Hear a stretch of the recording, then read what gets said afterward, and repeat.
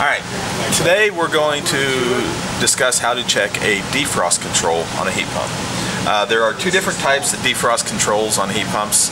Uh, one is a time temperature defrost control, which is the most common. The other one is a demand defrost control. Uh, today we're going to test the time temperature defrost control. And what it amounts to is a defrost control board with a timer in it and a defrost thermostat. Uh, I have connected my meter up to the defrost thermostat and as you can see on the meter I am currently reading 24 volts. That indicates that my defrost thermostat is open. Um, now to initiate defrost in the field I can simply remove one wire off the defrost board that goes to the condenser fan motor. Then I will re-engage power to the unit.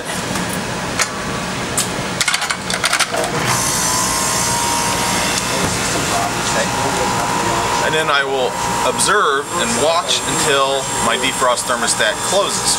Once it closes then I will read zero volts across my defrost thermostat. At that point I will be able to initiate defrost simply by moving the test jumper here to the test position. Once I move it to the test position, the, the unit will kick into defrost, provided the defrost thermostat is closed.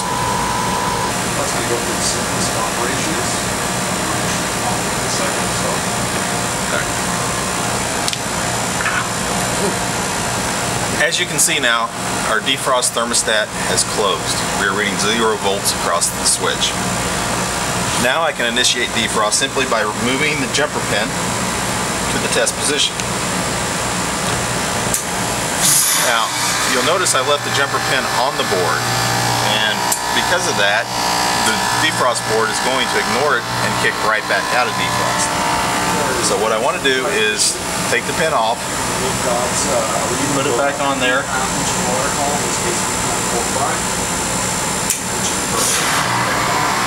now I just pull it right back off and it will stay in defrost. Now it will stay in defrost until my defrost thermostat opens up, which usually opens up around 80 degrees coil temperature, or until after 16 minutes have elapsed. One of those two things will bring it out of defrost. So we'll sit here and watch in a minute and see if the defrost thermostat now will reopen.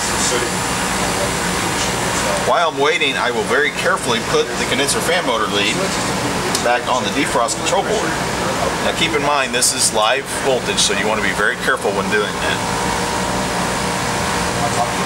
I can also put the test pin back into the time position that I select. In this case I have it set on about 90 minutes.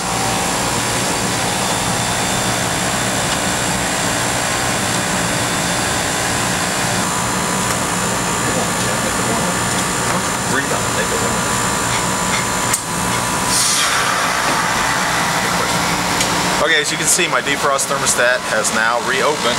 I'm reading voltage across my open switch, and the unit has came out of defrost and is in normal heating operating mode.